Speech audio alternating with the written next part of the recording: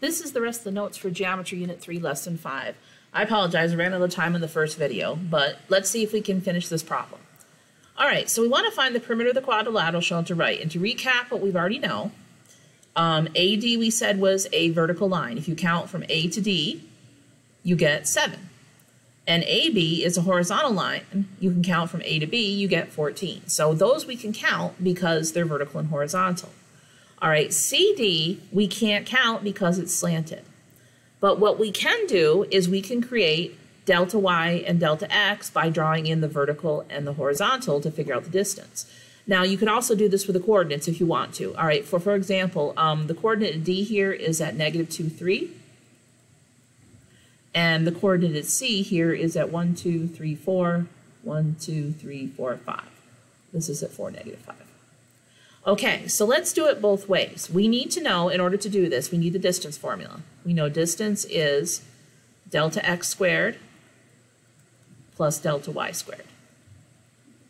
All right, so for CD, delta x would be the distance, the horizontal distance between C and D, which would be down here.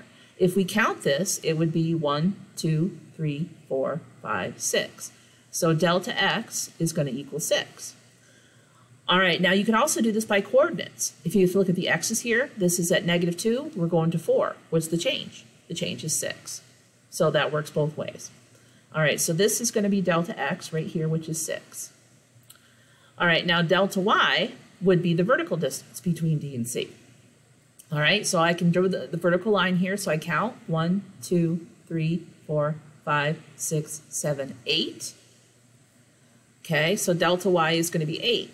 Now, the vertical distance, um, if we look at the coordinates, we go from 3 to negative 5, is a change of negative 8. But the change is going to be squared anyway, so it's going to be, the change is actually going to be 8. All right, now,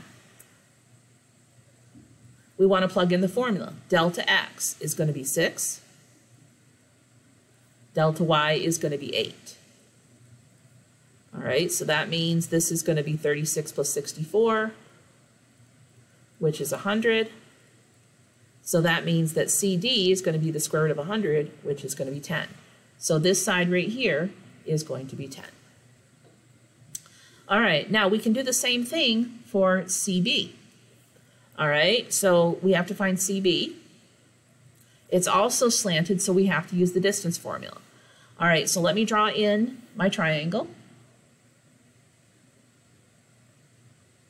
I've created a right triangle right here. Okay, and I'm going to put my coordinates for point B. Point B is at 1210.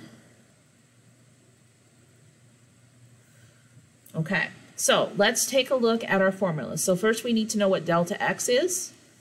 So the change in x would be the horizontal distance between C and B.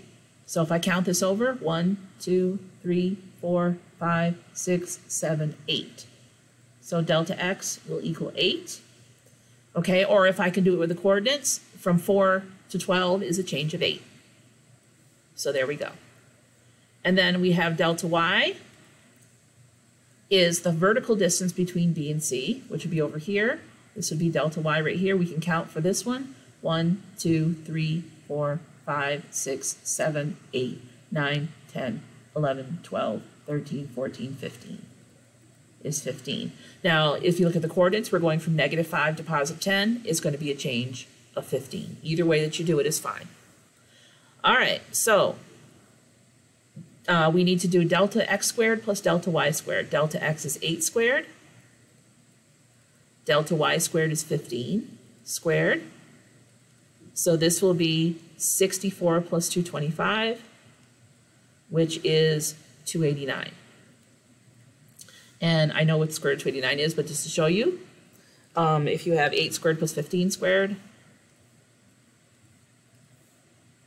there's the 289, and then take the square root, second x squared of 289, and we get 17.